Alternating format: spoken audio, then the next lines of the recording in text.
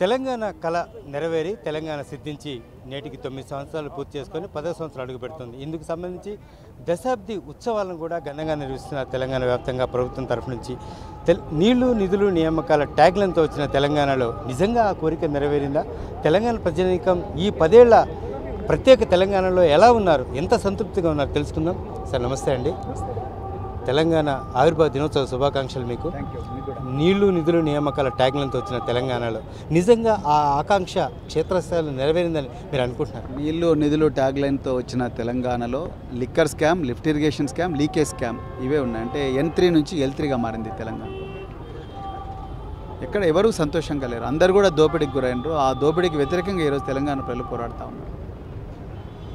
ఆ పోరాట సాగునీరుని విడుదల చేశారు ఈరోజు తెలంగాణ పది సంవత్సరాల సందర్భంగా దశాబ్ది ఉత్సవాల సందర్భంగా. అందులో అన్ని అభివృద్ధి సంక్షేమ పథకాలు ప్రాజెక్టుల విషయంలో ముందుకెళ్ళిన అభివృద్ధి సంక్షేమ పథకాలు క్షేత్రస్థాయిలో ఏ విధంగా వెళ్తున్నాయి అన్నీ పొందుపరిచారు ముఖ్యమంత్రి. సావనీర్ల వరకే ఉంది అభివృద్ధి.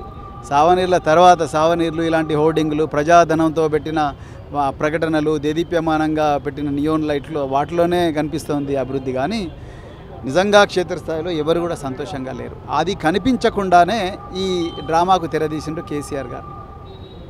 ఇది వాస్తవం. తెలంగాణ ప్రజలు ఒక భ్రమలో ఉన్నారంటారు? భ్రమలో కల్పించబడ్డారంటారా? తెలంగాణ ప్రజలను మాయ చేసిండ్రు. ఒక వాదంతో మాయ చేసిండ్రు. తర్వాత తెలంగాణ వచ్చిన తర్వాత వాళ్ళ జీవితాలను నాశనం చేసిండ్రు. ఆ నాశనం బయటికి కనిపించకుండా ఈరోజు ఇలాంటి ఉత్సవాలన్నీ చేస్తూ ఉన్నారు. లేకపోతే ఈరోజు సెక్రటరేట్ బిల్డింగ్ కట్టినా లేకపోతే ఇంకేం చేసినా కూడా ఎవరికి అవసరం లేని కట్టడాలు అవి. ఎవరికి అవసరం లేని కట్టడాలను తీసుకొచ్చి ప్రజల జీవితాలను న్యాయం చేయకుండా ప్రజలను పరిపాలనలో భాగస్వాములను చేయకుండా మీడియాను పారదర్శకంగా ఉంచకుండా అన్ని విషయాలు ప్రజలతో పంచుకోకుండా గుట్టు చప్పుడు కాకుండా రహస్య జీవోలు ఏర్పాటు చేయాల్సిన అవసరం ఉంది తెలంగాణకు. అంత మంచిగా జరుగుతున్నప్పుడు ఎందుకు ముఖ్యమంత్రి గారు బయటికి రావడం లేదు? ఎందుకు ముఖ్యమంత్రి గారు ఎప్పుడు పోలీసు వాళ్ళ వంద రెండు వందల మంది పోలీసు వాళ్ళ బలగంతో ఎందుకు వస్తున్నాడు ఎందుకంత భయం ముఖ్యమంత్రి గారికి ప్రజలంటే?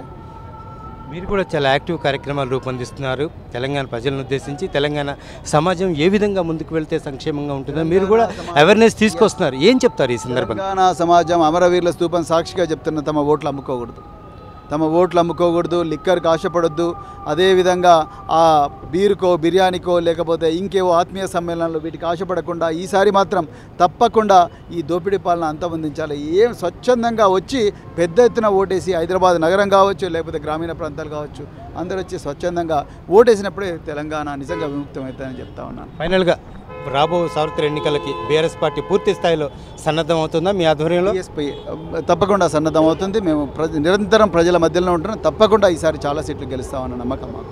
Thank you sir all the best sir అది పరిస్థితి. ఖచ్చితంగా నీళ్ళు నిధులు నియామకాల ట్యాగ్లైన్తో వచ్చిన తెలంగాణలో ఎన్ని వర్గాలకు న్యాయం జరిగిందో గుండె మీద చేయి వేసుకొని చెప్పే పరిస్థితి ఈరోజు లేదు అనే అంశాన్ని ఇటు బీఎస్పీ తెలంగాణ అధ్యక్షుడు ఆర్ఎస్ ప్రవీణ్ చెప్పుకొస్తున్న పరిస్థితి కనిపిస్తోంది.